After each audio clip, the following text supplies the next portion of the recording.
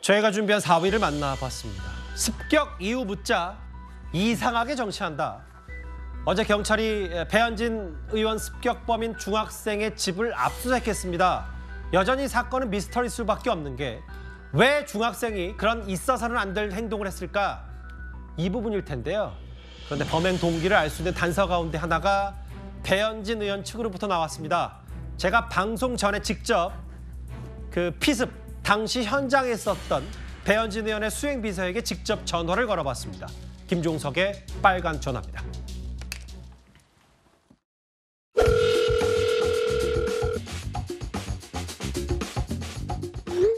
이제 제가 이제 걔를 잡고 너 왜 그랬냐고 그렇게 물어봤더니 정치를 이상하게 하잖아요라고 얘기를 했어요. 그러니까 일단 아이가 정치에 관심이 많다 이렇게 얘기를 했고요. 네. 그리고 이재명 피습 사건을 보고 좀 모방을 한 것 같다 라고 얘기를 했어요. 그러면 이, 이, 이 부모가 그렇게 경찰하고 얘기하는 거를 이제 제가 이제 뒤에서 들은 거죠. 음, 음, 여러 눈에 띄는 얘기들을 했습니다. 그 당시 현장에 있었던 배현진 의원의 보좌관 수행비서 차영훈 비서 얘기는 사건 직후에 이 습격범에게 왜 그랬냐고 물었더니 정치를 이상하게 하잖아라고 답했다. 습격범 부모가 경찰에 이재명 대표 피습을 보고한 듯 말했다라고 했는데 그 이런 것 같아요, 연정 의원님. 네. 음, 물론 범행 동기 경찰이 다 처분이 잘 수사를 하겠지만 바로 사건 직후에 중학생 습격범의 발, 말 정치를 이상하게 하잖아요. 라는 말이 꽤 눈에 띕니다. 그러니까 이거는 이제 뭔가 어, 이 뭔가 타켓을 이미 정했다 이런 의미가 있지 않겠습니까? 왜냐하면 저 본인은 뭐 처음에 이 보도 나왔던 바 따르면 뭐 연예인을 만나러 갔다가 우연하게 이제 범행을 저질렀다라고 이제 이야기를 했던 모양인데, 근데 이 지금 이야기를 따져보면 결국 배현진 의원을 뭔가 타겟팅을 하고 두 차례나 물어봤다는 거 아니겠어요?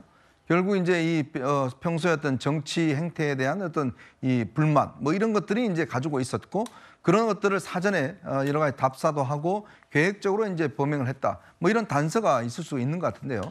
물론 지금 아직 그이 어, 이 A 군에 대한 이제 이 경찰의 수사가 굉장히 더디게 진행되고 있습니다. 왜 그러냐 하면 지금 이제 이 정신 보호 지금 받고 있는데 여러 가지 본인의 진술이 지금 오락가락하고 있고 또 관련된 증거에 대한 어떤 이 확인 작업들이 제대로 아직 이루어지지 않는 상황이다 보니까 정확한 동기 그리고 이제 문제는 그렇다면 본인이 여러 가지 어, 휴대전화나 이걸 통해서 배현진을 검색했는가 이 부분만 확인하면 이게 이제 계획 범죄다 아니다가 이제 판단이 될 것 같거든요. 예. 우연이다 아니다가 이제 그것에 대한 아직까지 증거 자체가 이제 없기 때문에 아직은 확정 지을 수는 없습니다만은 그러나 이 보좌관의 이야기에 따르면 결국은 배현진 의원을 이미 알고 있었고 또 거기에 대한 어떤 이 본인의 판단 정치를 이상하게 한다는 판단 이것도 곁들여졌다면 이거는 계획 범죄가 아닌가 이렇게 추정할 수 있을 것 같습니다. 특히 이제 그 1월 2일 불과 저 사건 23일 전에 있었던 이재명 대표 피습 사건을 모방한 것 같다라는 부모의 판단도 있으면 모르겠어 습격범 부모와 이 중학생 습격범이 얼마나 두 사람이 경찰 내에서 대화했는지 모르겠지만 이런저런 정황을 봤을 때 정치에 꽤 빠져 있는 중학생의 계획 범죄 이 정도는 강진아 변호사 정리할 수 있는 거예요? 아마 그렇게 볼 수 있지 않을까 싶습니다. 지금 배현진 의원의 보좌관이 하는 이야기는 어, 그 아이의 부모가 하는 이야기를 뒤에서 들었는데 아이가 기존에 정치에 관심이 많았고 그리고 또 이 사건이 이재명 대표의 습 격, 그 습격에 대한 모방인 것 같다라고 이야기를 했다는 건데요. 그것은 어, 한 20일 전에 있었던 일인데 그 이야기를 집안에서 오랫동안 한 것이 아닌가라고 생각할 수 있습니다. 부모가 아이와 집에서 이야기를 할 때 아이가 평소에도 정치에 대한 이야기들을 많이 했었고 예. 특히 이재명 대표의 그 습격 사건에 대해서 여러 차례 이야기를 하였으니까 부모가 저렇게 어, 아마 경찰에다가도 진술한 것이 아닐까 싶은데요. 물론 저 이야기는 지금 배현진 의원의 수행비서 가 이제 들은 이야기를 한 것이고 경찰에서는 저런 이야기를 공식적으로 확인해 줄 수는 없다라고 이야기하고 있습니다.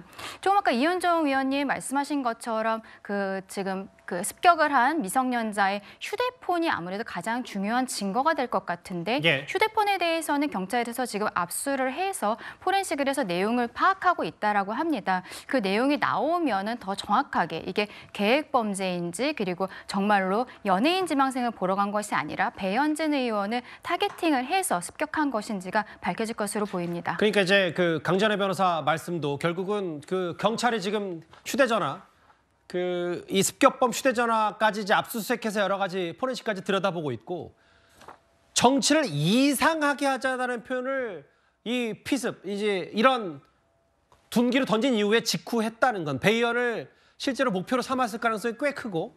근데 차재현 교수님 이 질문을 하나 드릴게요. 왜냐하면 저희가 지난주 금요일 뉴스탑10에서 범죄 심리 전문가인 이수영 교수 직접 전화했을 때 어떻게 그 의원의 사적인 개인 일정까지 동선을 알 정도로 물론 뭐 주변상 그쪽을 많이 그 전부터 한 달 전부터 많이 갔다는 여러 가지 보도도 있었지만 정치를 이상하게 하고 모방했다라는 부분이 있으면 어떻게 그런 정보를 알았는지 휴대전화나 개인 PC를 통해서 이런 부분까지 온라인 커뮤니티를 좀 잘 뒤져봐야 된다는 얘기까지 했거든요. 어떻게 판단하세요? 바로 그 때문에 경찰이 어제 A 군의 집을 압수수색한 이유가 아닐까 하는 생각이 듭니다. 압수수색에서 갖고 간 물건 중에 하나가 A 군이 쓰던 어, 아마 노트북을 들고 갔다고 하는 거니까 그러니까 A 군이 또 아마 현장에서 아마 또 이렇게 압수된 물품 중에는 아마 휴대폰도 있겠죠. 그래서 휴대폰과 아, 노트북 정도를 아마 꼼꼼하게 따져보면 포렌식에서 살펴보면 그이 지금 이 소위 말해서 계획 범죄인지 아닌지 여부가 어느 정도 드러나지 않을까 하는 생각이 듭니다만 저는 또 한편으로는 사실은 어떻게 보면 그이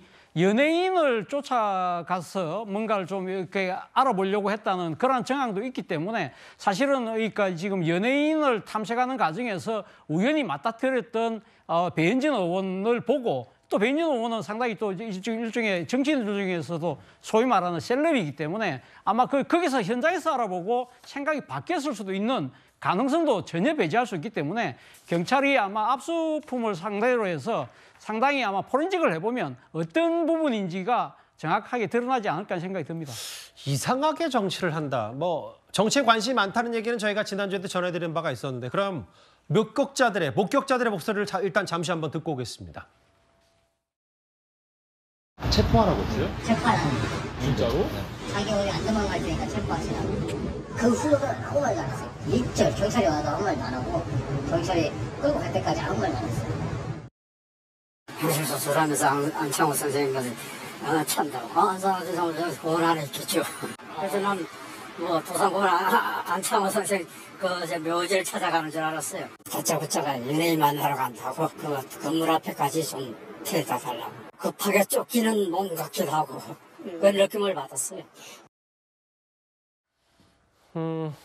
배현 피습 직후에 이상하게 습격 직후에 이상하게 정치를 한다. 그런 주면은 부모는 이재명 대표 피습 사건을 모방한 것 같다. 근데 이제 아직 좀 더 경찰이 들여다보고 있지만 최 교수님 그 과거에 이 대표 지지자들 배경으로 찍은 집회에 간 거 아니냐 이런저런 얘기를 여부를 들여다보고 있다는데 그럼 결국은 이 중학생 습격범이 특정 정치 세력에 얼마나 맹목적으로 따랐는지 부분도 이 범행 동기에 포함될 수 있는 거 아니냐. 정치를 이상한다 한다는 표현까지 있었기 때문에 어떻게 판단하세요? 그러니까 그 부분은 아직까지는 경찰 입장에서는 수사가 진행 중이어서 그렇게 보고 있지는 않는 것 같아요. 경찰은 종합적으로 지금 이 그 중학생이 올린 여러 게시글들을 분석을 했는데 분석한 내용을 보니까 어떤 특정 정치생을 맹목적으로 쫓, 쫓는다 이런 증거는 없는 것 같습니다. 다만 경찰이 분석하기는 주변의 관심을 끌기 위해서 일반적이지 않은 행동들을 하고 있다는 것은 어느 정도 결론을 내린 것 같아요. 즉 이 중학생 이라고 하는 이, 이- 이 범행을 저지른 이 친구가 이 사람이 결국은 주변의 관심을 많이 끌기 위해서 여러 가지 행동들을 하는데 그 중에